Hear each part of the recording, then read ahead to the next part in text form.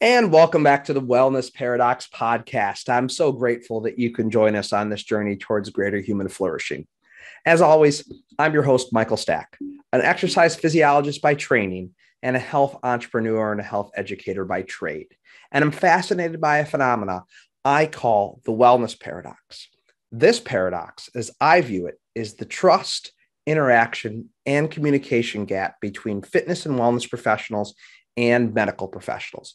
This podcast is all about closing off that gap by disseminating the latest, most evidence based, and most engaging information in the health sciences. And to do that, in episode 43, we're joined by Monica Reinagel. Monica has a master's degree in human nutrition, and this discussion is going to be an interesting deep dive into weight loss and all the factors that are associated with it. Uh, Monica has a very interesting background in that, in addition to her master's degree, she also has a strong background in culinary arts, and she's a fellow podcaster who has the opportunity to talk to a number of people in the fitness, medical, and nutrition ecosystem. And she has some specific interventional work that she does with individuals who are looking to lose weight. And I know this has been a topic that we've discussed in various ways, shapes, or forms on our podcast. We've talked about weight stigma. Uh, we've talked about a number of issues related to weight loss and weight management. And I think this conversation with Monica is a great deep dive into several specific areas that will be very actionable for the fitness professionals that are listening to the podcast. Any additional information we'd like to share from this episode can be found on the show notes page by going to wellnessparadoxpod.com forward slash episode four three. Please enjoy this conversation with Monica Reinagel.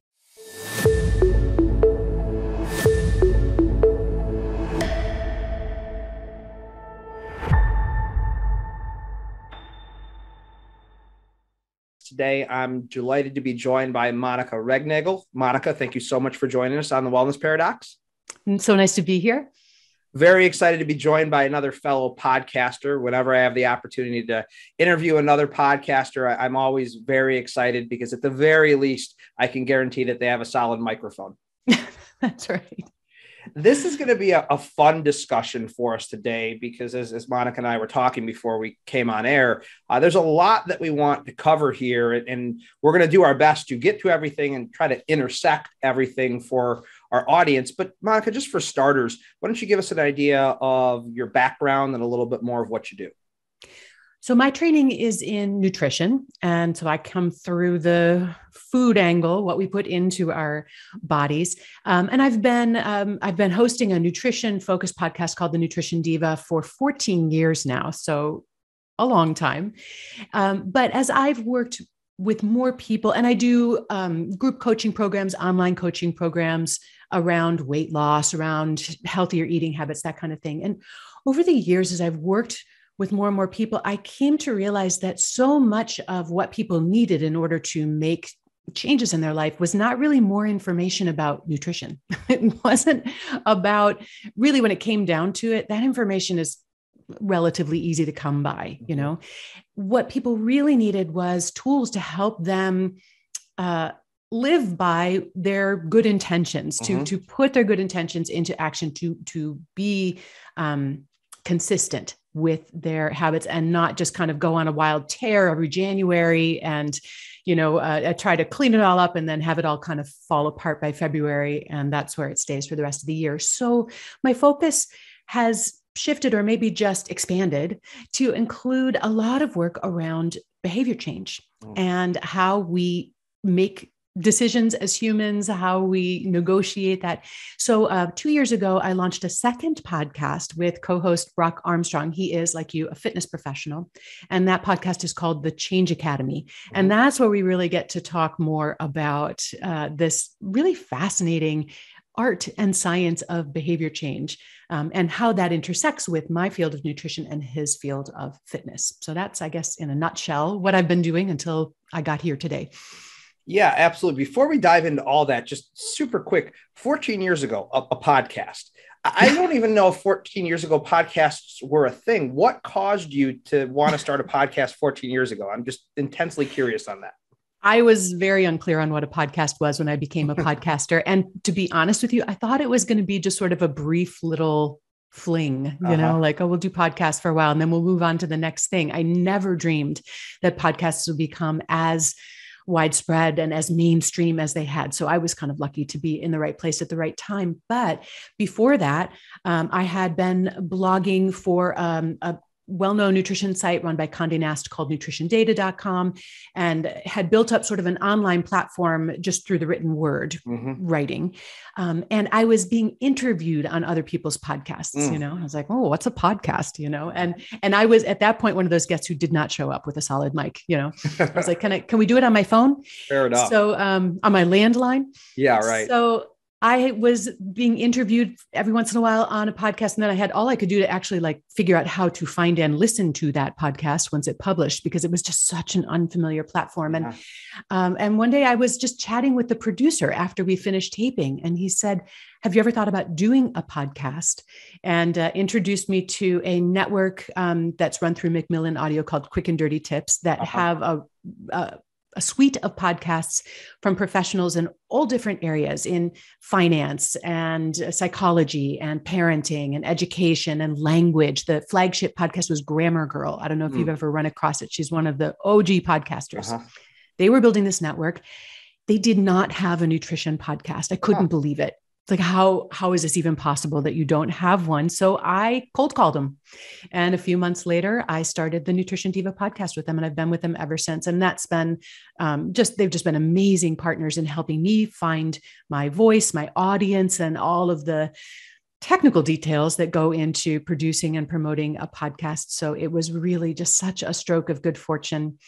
And some of my listeners, your listeners won't know this. My listeners will know that before I went to school for nutrition, that was kind of a second act for me. My oh. first act back way back, um, I went to music school and I studied to be an opera singer. Ah. And I was an opera singer for about 10 years before mm-hmm. I retrained in nutrition.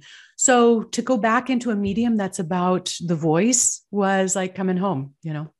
Very, very fascinating, fascinating. you and I will connect on a lot of levels but not on the level of singing. If we want everyone to tune this podcast out, it would be me starting to sing.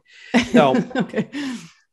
I, I, love the the new podcast that you host because really, as as a nutrition professional, a dietitian, an exercise professional, an exercise physiologist, we are two sides of the same coin, so to speak. And mm-hmm. we connected over LinkedIn. We actually have to remember exactly what we connected over, but it was around a, a, weight neutral approach to treating diabetes. And so I want to kind of abstract away from that, not specifically to talk about diabetes, but you're starting to hear the weight neutral approach uh, mm-hmm. proliferate a little more. Certainly in the dietetics community, it's now starting to uh, get into the fitness community a little bit. And this is a fascinating area. And I feel like there's a lot of polarizing views on it. Certainly, if you Google it, you'll get a lot of polarizing views. To yeah. tee this up, why don't you start with just defining what a weight neutral approach is it, eh, it, eh, to the extent that you can? And then uh, maybe we can get into some of the, the pros and cons and how it's actually being operationalized from what you've seen. Yeah. Well, um, I get, you know, the cynic in me wants to say it's kind of born of a, well, if it, eh, defeat, you know, like, yeah. well, if we can't beat them, we'll join them. And that, what I mean by that is, you know, we've been fighting this, what we call the epidemic, the epidemic of obesity for 20 years now, 30 years now, and making very little headway. Right. Mm-hmm.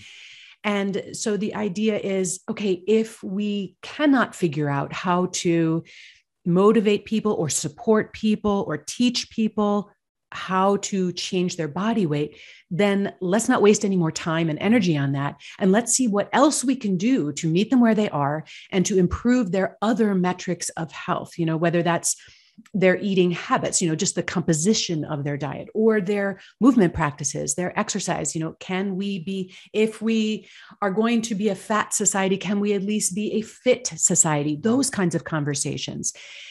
I understand where it comes from. And I think that there's some there's some uh, value to that. Like okay let's not just keep throwing ourselves at this brick wall for another 30 years. It's not a what can we do? If we can't do that what can we do?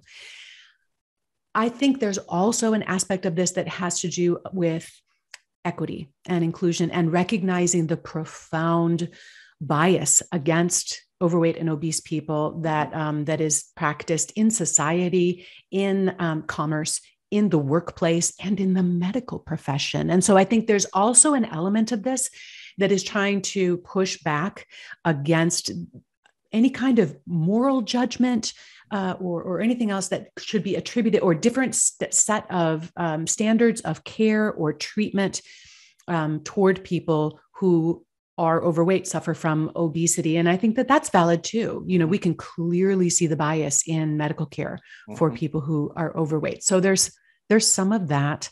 Um, and i think these are super good conversations to be having. I just don't want to completely give up on the idea that yes a body has infinite value and worthy worth and dignity no matter what its bmi no matter what its size uh, you know unquestionable. And weight is not the only thing that matters to mm-hmm. our health. There are a lot of ways that we can approach making somebody's life healthier in body healthier than merely by reducing the pull of gravity on their on their body. Um, but i don't want to start pretending and this is where i feel like it gets goes a little too far. I don't want to start pretending that weight doesn't matter. Mm-hmm. because it does. And so when we get studies or analyses that seem to suggest that hey you know what? If you can just keep your blood sugar online or if you can be fit enough or if your cholesterol is within a certain range doesn't matter what your weight is and i think that takes it a step too far but what do you, where do you come in to this conversation Oh, the podcaster asked the other podcaster a question. Very nice. Uh, well, first off, before I, I, answer, I, I think that that is a very accurate assessment of where things seem to be at. We've tried, and at least on a population health level, largely failed to improve the BMI status of our country. And you just have to look at the charts from the CDC to tell you that. But it does seem to be a very defeatist perspective to just say, okay, well, if we can't beat them, I guess we're just going to have to join them. And mm-hmm. I completely agree on the weight stigma concept. I, am I'll remind our listeners to go back to Kendra Sonneville's podcast that we did. She's a researcher at the University of Michigan that actually studies weight stigma, and it, mm-hmm. and it is a very real thing. And you don't even have to be in the medical profession to know that you know, we place moral judgments on people because of the amount of weight that they carry. But I I view it as very, I think, similar to you, very reductionistic to think it's binary. Like it's like mm-hmm. you either have to be weight neutral or you have to be pro weight loss, and you're either one camp or the other. I think, mm-hmm. like most things in life, the truth lies in the middle. I think the challenge that we've ran into as let's just say an allied health field is that as one group goes more this way, yes. the other group just has to pull more that way. I don't just think that's in allied health. I think that's in, in sadly Clearly. in every aspect of our society, and I think right. that's probably you know what has happened here so mm-hmm. in answering that to turn it back to you from your perspective uh, talk about the the health benefits of actually weighing less because partly the you know the health at, at any size people uh, health at every size people right every size is that the h-a-e-s right yes, health yeah, at every size every size I, I know that the terminology is specific there. They'll say that like on some level it doesn't matter at all, but we know, you know chronic inflammatory issues and things like that are real things. So what is the true benefit to even losing you know 5 to 10% of your body weight in terms of its overall improvement in your health? I'm glad you picked that number as your example because it turns out that losing 5% of your total yeah. body weight, even if you remain in the category of obese or overweight can have profound benefits on your health risk metrics, things like um, blood sugar utilization, fasting blood glucose, insulin sensitivity. You can really improve your insulin sensitivity with that relatively incremental change mm-hmm. in body weight. Um, so it's worth it. You know, you can take a lot of uh, load off your your joints your knees and decrease knee pain you can decrease sleep apnea you can decrease your blood pressure in a way it almost seems to me um, that the body responds to the direction that mm-hmm. you're moving uh, just as much to your position if if you know what i mean you know yeah. like it's not just whether you're taking a certain box in terms of your bmi but what is the trend you know yeah. is your body moving toward you know a healthier weight toward a greater level of fitness that's I feel like what your body is responding to at least as much as, you know, like where, where are you right now? You know? Yeah, absolutely. And we I, use the 10, five to ten percent number for the same reason that you intentionally sure is, is that that is the the generally recommended range. You look at the CDC's diabetes prevention program, and that mm-hmm. was the the goal that they set for that program. And I'm keen to ask you on the the dissonance that exists between that clinical number of 5 to 10% which we know through a lot of research that is a very important number and what you see kind of in the mainstream media because you mm-hmm. and I both know when we sit down with a client or a patient, we talk about that number and then they do the quick math in their head. And then my 200 pound, 45 year old woman says, Well, I want to lose way more than, than 20 pounds or 10 pounds. Mm-hmm. Uh, how, how does the, the media and the, I guess the marketing machine that is the weight loss industry play into this in a way that negatively affects evidence informed professionals like us? Exactly the way you just described you yeah. know that when we try to say the benefits of that of that first and i'll just say it, it doesn't have to be the last 5% right. of your body weight right. but right. the first one you know that you get to really celebrate a concrete accomplishment and yep. victory after that first 5% you don't have to stop there right, right. but um but exactly the way you just said if you spell that out as sort of to give people an interim goal to to work towards that feels more attainable that feels mm-hmm. more reachable they will immediately do the math and say mm-hmm. like yeah but then i'll still have 50 more pounds to lose before and part of this is our relentless hammering on the bmi and that number has to be below 25 if you're going to be considered normal or or or healthy or something like we've internalized that number and so we see that as the the destin the goal mm-hmm. and the destination and we really um, are not encouraged to understand the real benefits of all of the all of the movement in between where we are now and where we might be headed. And i really have worked with a lot of people who uh, who start out um, in the obese category and move way well down into like a bmi of 25 some 26 so they're still technically uh, overweight, their health is so much improved. They've created habits that they can sustain. They actually like their bodies and the lifestyle that's required to keep them there. And at that point, am I going to flog them to lose another seven pounds to, to tick that box? Absolutely not. I actually feel like if you have decreased your health risks by achieving a healthy enough body weight and you're able to, you're happy with the way your body looks, feels, and functions, you can do the things that you want to do. You feel good in your in your skin, and you're content with. I mean, this is I'm preaching from our, our weight loss program. You're content with the habits and the lifestyle that's required to keep you there. And that's one we forget to, to yeah. take into account, right? Absolutely. You're there. You won. You won the prize you know in our approach to sustainable weight loss we actually look at the your ideal weight as having three essential components. One is you're not at increased health risks because of your weight. Mm-hmm. and as we've just talked about if you've substantially decreased your weight even if you're not technically in you know the 18 to 25 bmi you've probably accomplished that. Yep. number two you're happy with the way that your body looks feels and functions. You can do the things you want to do in your life you know? And number three, and here's the one I think people forget to take into account you're satisfied, you're content with the habits and the lifestyle that's required to keep you there. Because if you've, you know, white knuckled it to your goal weight, but you're miserable you can't socialize with your friends you can't participate in you know your favorite activities without breaking your diet then i'm not sure we've served you very well yeah, I think you nailed it. There are so many people that think once they achieve that number that everything in life will be great.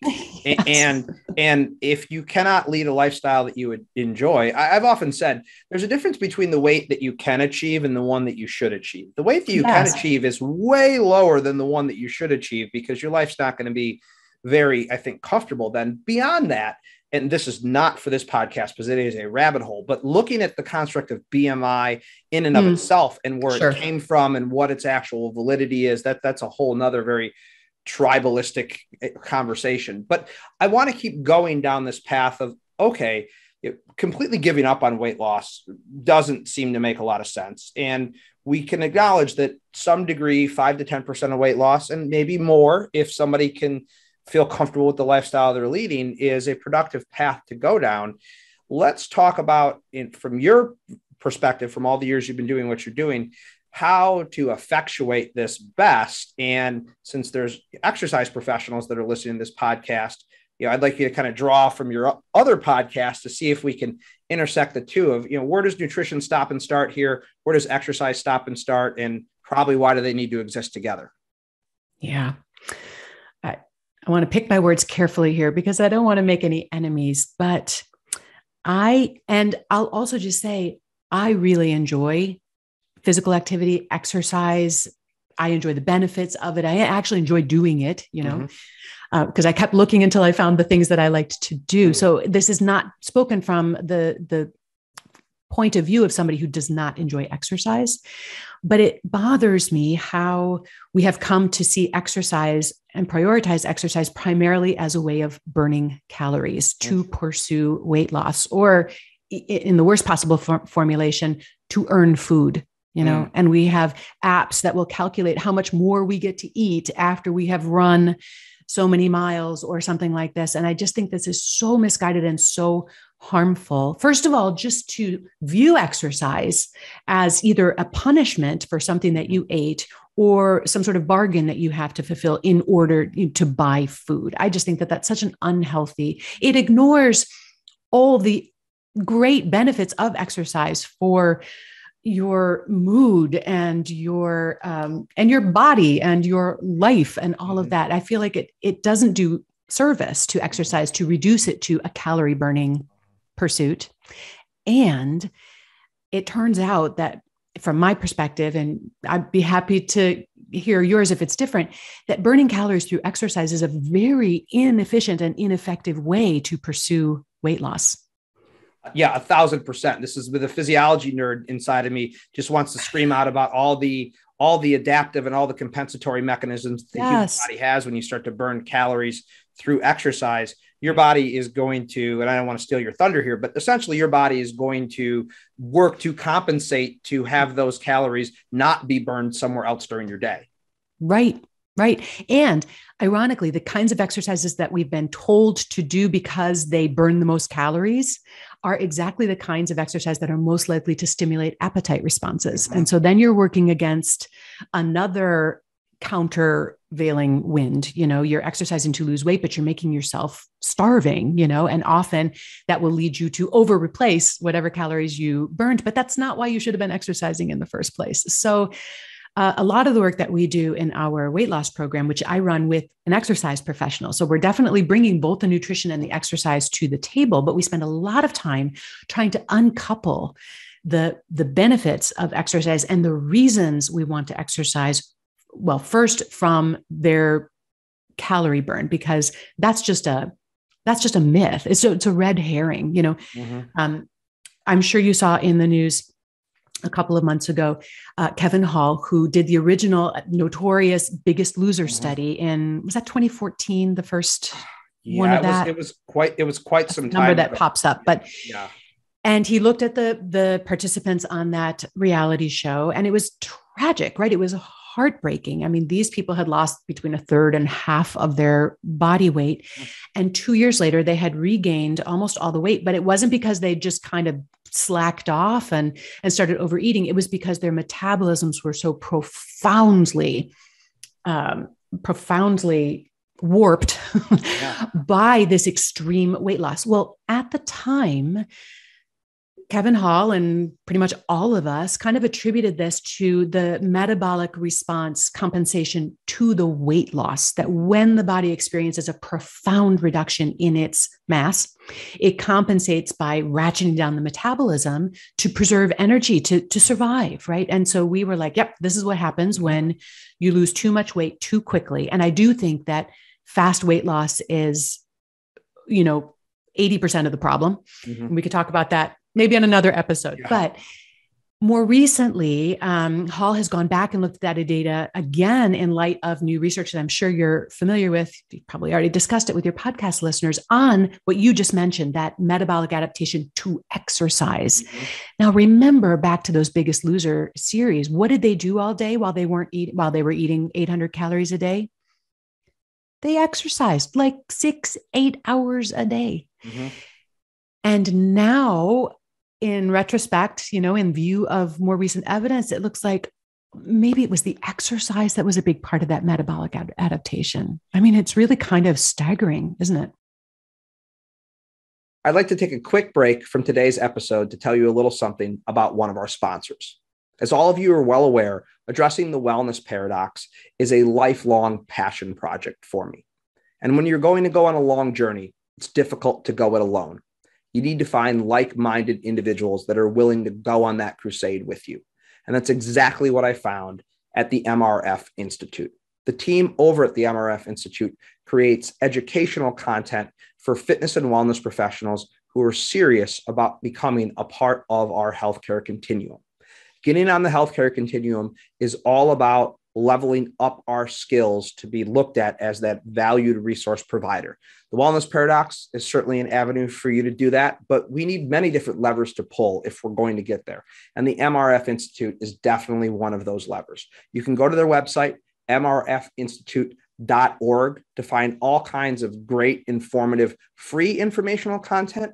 And if you choose to engage with any of their paid content, they've created a coupon code specifically for Wellness Paradox listeners you can enter in WP 2022. That's WP and then the number 2022 to the website at checkout to receive a 15% discount on your purchase. I highly recommend you go check out mrfinstitute.org. Now back to today's episode. Yeah, it is, and, and it, it kind of comports with a lot of the research that you're seeing uh, nowadays. And uh, it's not Stefan Guyenet; his name's escaping me right now, and I don't know why it is. Who's done research on uh, some Aboriginal hunter-gatherer tribes and seen that they don't have a much higher daily energy expenditure than we do here in Western society, and it's just this. Uh, there is a a limitation to the amount of calories the human body can expend, and all of it makes sense because it's a it's a preservation mechanism ultimately at the end of the day. And and and that's the the point that you made. And, and so i think that's a, a an important lesson. So so take that the step further then. What is exercise's role in this process? Kind of what is nutrition's role in this process? Because it's clear that exercise may may actually not be the path to weight loss the way many people talk about. Yeah at least not in like a way to burn off enough yes. calories yes. or to burn off fat. Like we really yeah. just need to let that go right yeah. but what i see and now i'm i'm going to lean on my um, you know my professional relationships with other fitness professionals what i see as the the main roles of exercise in weight loss and weight maintenance is its effect on body composition mm-hmm. um, you know by maintaining lean muscle which we if we're not pretty diligent about um, stressing the muscles, we're going to tend to lose a fair amount of lean muscle tissue when we lose weight, especially if we're losing weight quickly. Uh, and and so exercise can be very effective in helping us maintain our body composition. And then that sets up a virtuous cycle where we are actually supporting our metabolic rate as we are losing weight. You know, we're having more active tissue in our bodies.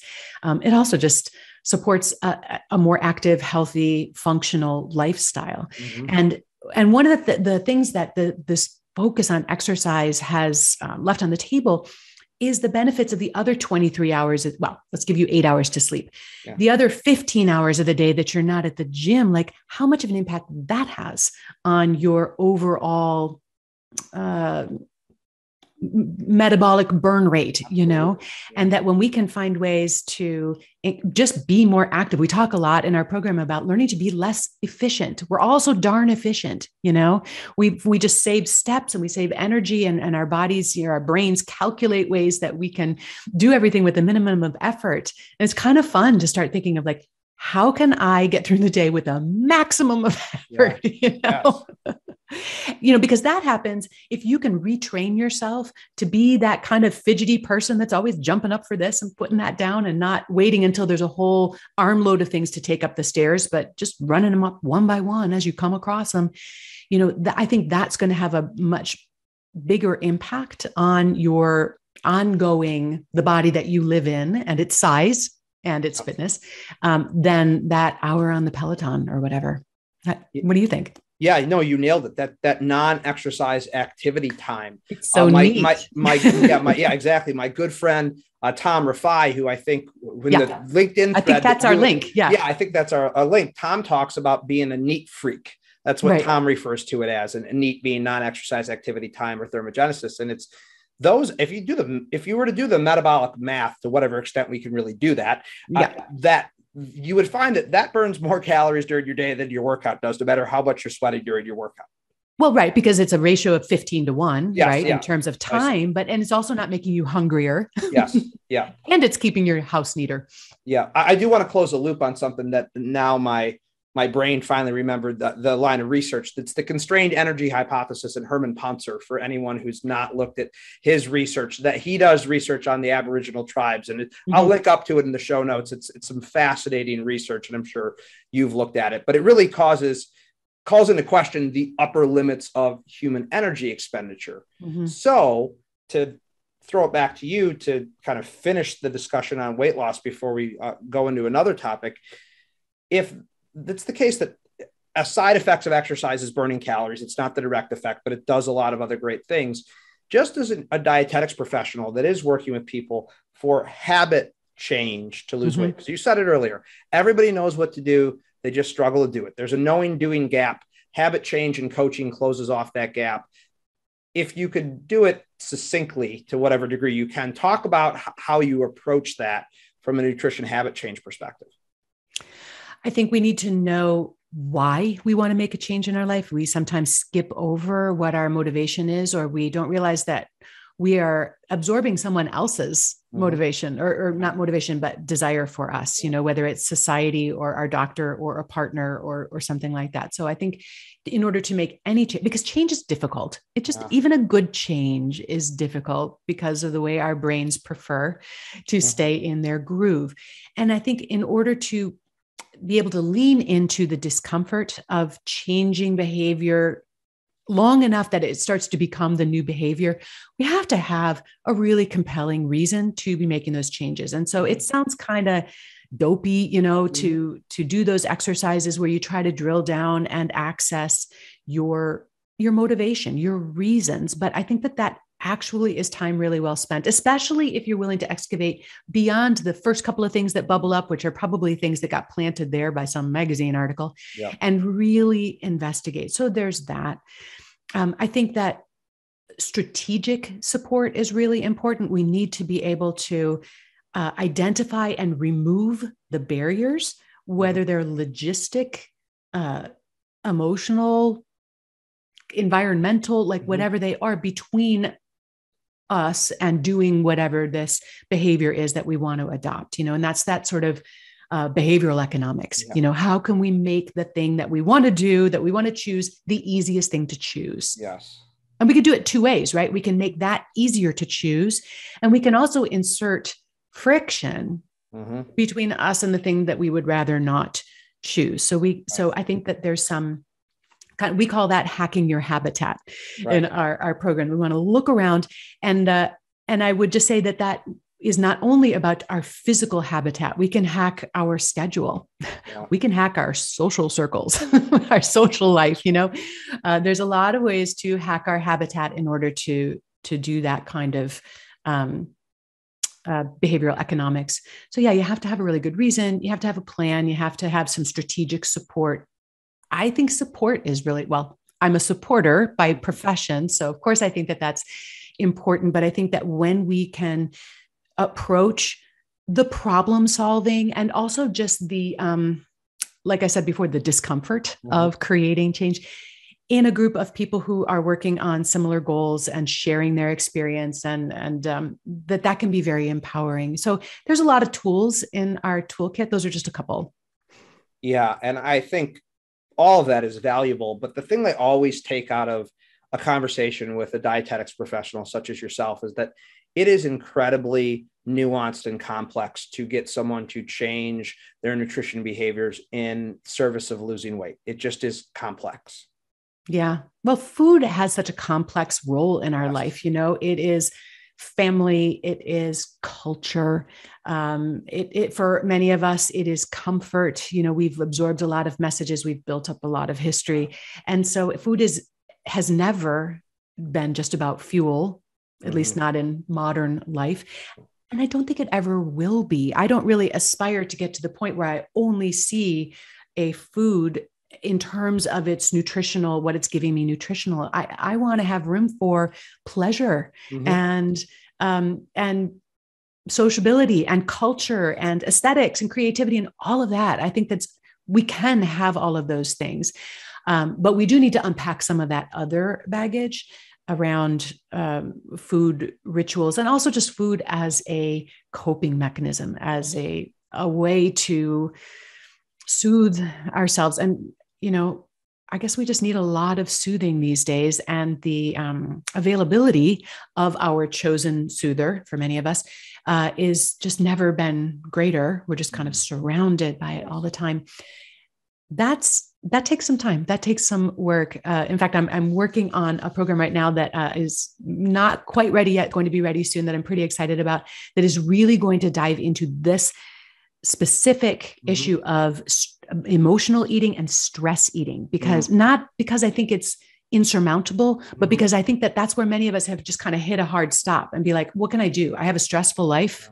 And I'm a stress eater, and and they kind of throw in the towel, and I feel like, nope, I've got some ideas about how each of us can actually overcome that learned and habituated and societally reinforced habit of stress and emotional eating. But it will take a little bit of work, and I'm I'm really excited about actually um, putting that out into the world that sounds like a great program. I think probably everyone on some level can benefit from going through a program like that. I, I, I certainly, oh. I certainly know I could because the, it, it is, it's a, it is a very common and to yeah. your point, very ubiquitous and readily accessible coping mechanism for us. And and readily and reinforced, you yes. know, like ready, ex, readily acceptable, accepted. Yes. yes. But no, I mean, I only create the courses I need, right? Oh, so, yeah, exactly. Well, and I'm going to say this next statement from my perspective because I think it, it, maybe adds a little bit more credence to it, but then I want to get your thoughts on it.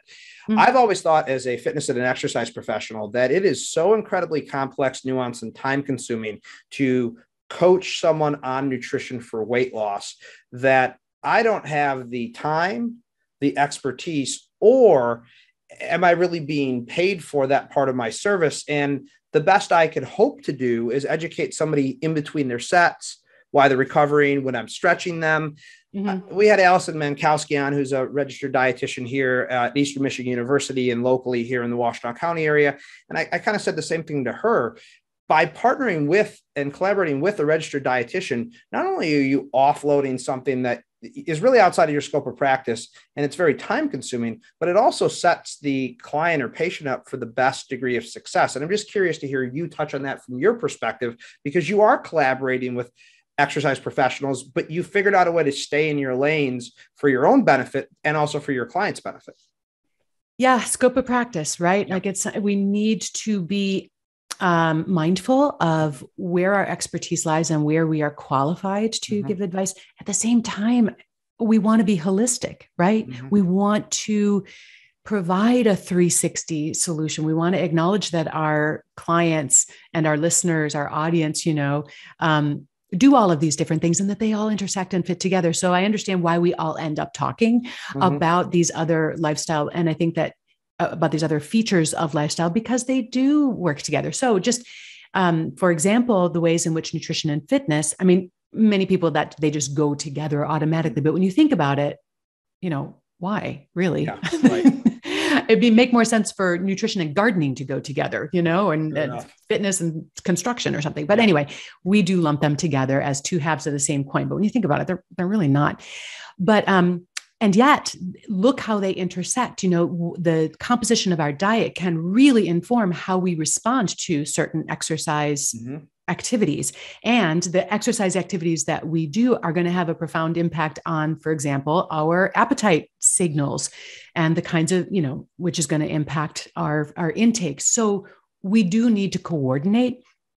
And, and I think that we do need to view what we're doing with diet with a mind towards okay and then what's happening on the you know on the exercise and the movement side and vice versa but yeah the more people we can bring into that conversation just the way i always love the opportunity to bring in a psychologist or a behavioral mm-hmm. expert or you know there's there's so many aspects that we can um, leverage to create healthy lifestyles, time management, right?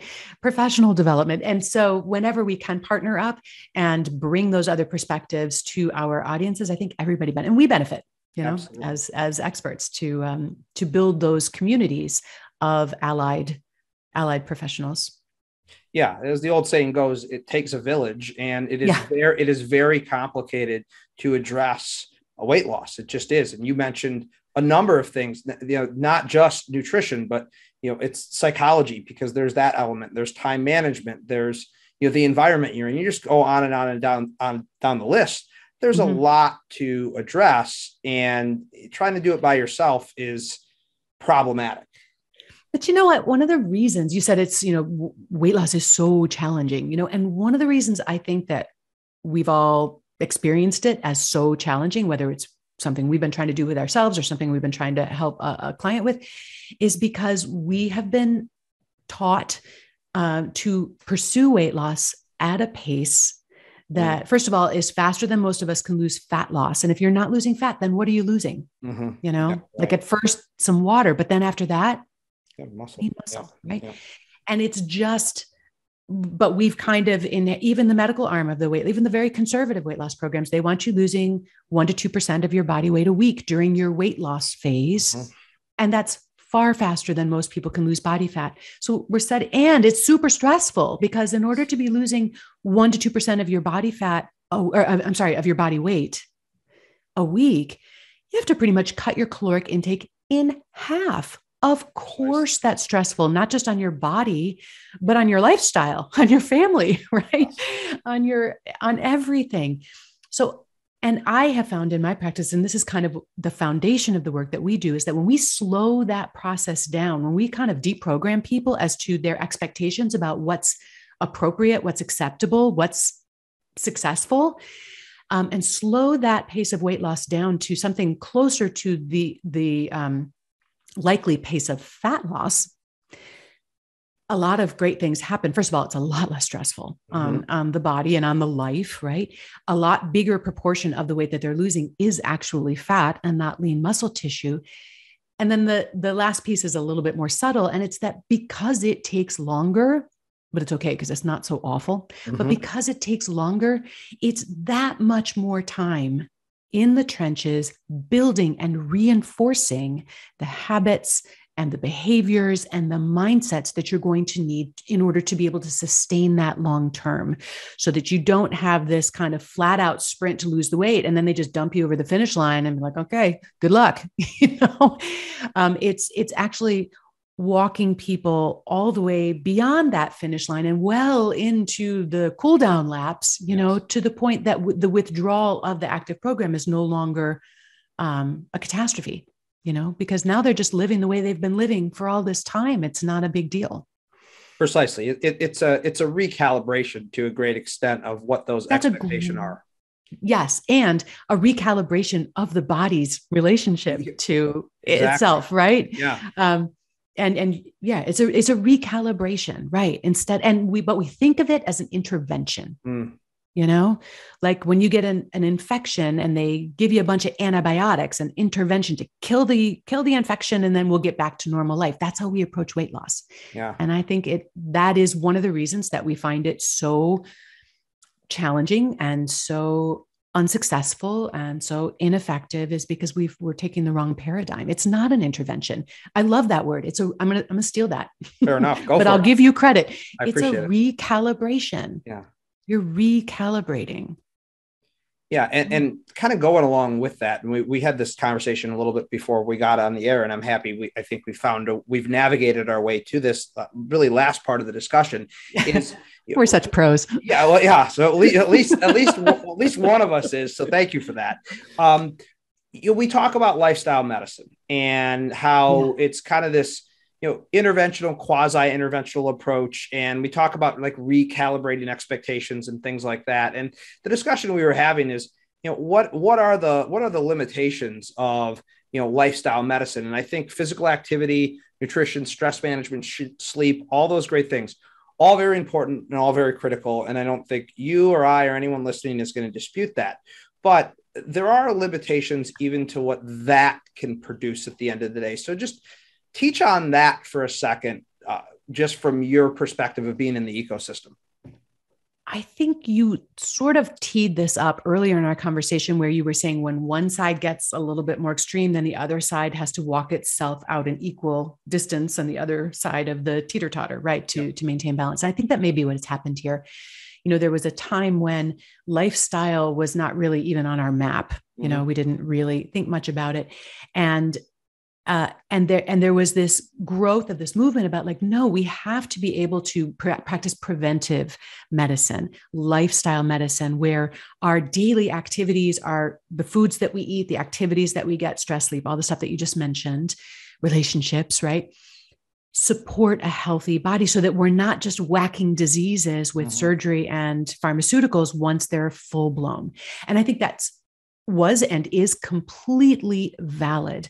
Mm-hmm my little beef now though with the lifestyle medicine folks is they feel like people aren't listening. Mm-hmm. that there are still people who refuse to change their lifestyle even in the face of like really scary medical consequences mm-hmm. or they kind of think like well i don't really need to change because i've got a drug for that you know? No now i've got the statin medication. I don't need to worry about diet. I you know and i've got a blood pressure medication that takes care of that so there are some people who are not listening to that message. And as a result, the lifestyle practitioners are just shouting louder and, and making it sort of a little bit more extreme. Like if you have a disease, such as the ones we always talk about in this context, right? Type 2 diabetes, obesity, heart disease, the usual suspects.